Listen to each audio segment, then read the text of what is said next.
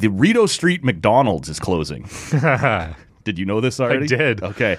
Come April, they've chosen not to renew their lease. It's a fairly, and this is actually, I believe it was in the Ottawa Citizen that I was just reading.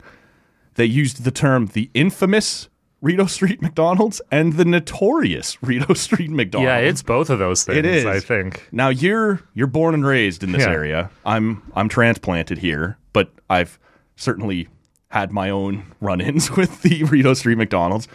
Were you a loyal like when I would go out, especially because I'm not. I'm. We just talked about it. I'm not a club guy. I'm a pub, bar kind of guy. I would be coming from the Highlander, which is right there, right? The Dubliner, uh, maybe the Heart and Crown, these sorts of places. And at one or two in the morning, when last call is out there, before I jump in a cab to go home, I want some fucking McNuggets right now, right now. And McNuggies. it, you'd go in there, and it would be busier than whatever bar you had just been in. Were you a loyal visitor? I wasn't a loyal visitor because I never really, I never lived that close to that part of the town, No. part of town, and I never, like you said, I'm, I'm not like I was never a big like market guy. Okay, yeah.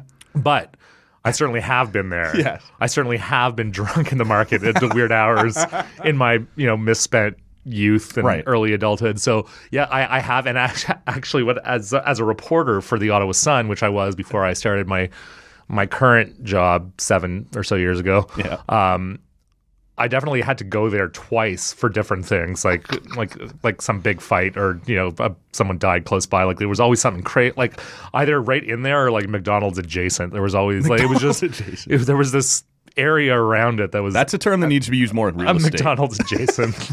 I would buy that. Yeah, exactly, man. Um, yeah, so I've been there. It's it's a it's, It's a scene, interesting. Like it's a fascinating place. Like you talk about places like Vegas where you just want to go and like people watch. Yes. Rideau Street McDonald's is and almost was like was now as of April. Yeah. I don't want to say I'm sad because I don't think we're gonna miss It's it. It's a landmark, though. It is a landmark. Like maybe it should become a heritage building. Right, exactly. But they do reference in this article in 2013, maybe the most famous video to ever. Was that the monkey one?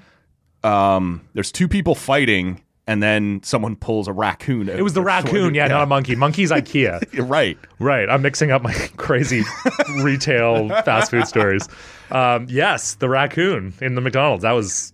I and this is all like late night at McDonald's. There's a brawl going on, and somehow that's not the craziest thing that's happening. Did they ever get deep down to that? Like into that? Like was Not it in this was it like her own like Have no domesticated raccoon or like because if it was a wild raccoon, like you're risking like a lot of rabies and Oh, shit man. for like just like You're already risking that just being in there. A lot of different diseases. so many things you could catch.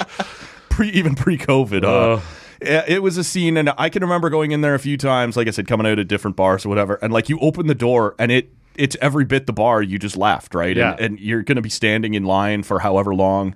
Um, you know, and you're going to try and catch a cab afterwards from outside like, that. see, I. I always I like to think I was a bit always a bit sm- ahead of the game, and Yeah. smarter. Like I didn't usually want to get food from a place where I knew everyone else who was drunk and hungry like ah, myself was. I was new in town, man. I didn't know any better. You got see like Montreal. Like I've been to Montreal so many times. Like there's different spots, right? Yeah. Like after the bars close, that you want to get a snack. You don't all have to go to the same spot. Nope, it's true. And I generally avoid places that might lead me to being involved in some sort of gang fight Yeah, or group, you know, brawl of any kind or raccoon. but you got someone dragging you around who wants uh, wants street meat at two in the morning. So, That that would that, shall remain nameless. he knows who he is. Yeah, exactly. Uh, and he'll be in here again soon enough. Maybe we'll ask him about it. Then. Another friend of the show. exactly. Um, yeah, man. To me, it's it's a bit of a loss to the city, and they they talked about uh, you know they did ask at one point, hey, could you just crank down the hours because it was a 24 hour location, which was the, the the draw, right? That was the whole appeal, and uh, they they started closing at 10 p.m., which hurt their business in a big way because look, all those people in there buying late night quarter pounders, it adds up, and then you know we have a pandemic. Uh, before that, Rideau Street is torn up twice. Once for the subway, once to redo all the curbs. I think they widened the street a bit there. Um, then the whatever you want to call it, there the Freedom Convoy.